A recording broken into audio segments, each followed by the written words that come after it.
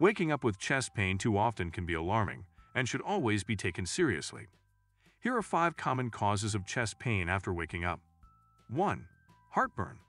A burning sensation in the chest caused by stomach acid rising back up into the esophagus. 2. Heart attack. A serious medical emergency that causes chest pain or tightness, shortness of breath, and other symptoms. 3. Injury. Chest pain may be caused by an injury, such as a muscle strain or broken rib. 4. Pancreatitis. Inflammation of the pancreas can cause chest pain that extends from the abdomen. 5. Pulmonary hypertension. High blood pressure in the pulmonary arteries can cause chest pain and a fast heartbeat. If you want to learn more about this topic, consider watching our in-depth video. The link in the pinned comment.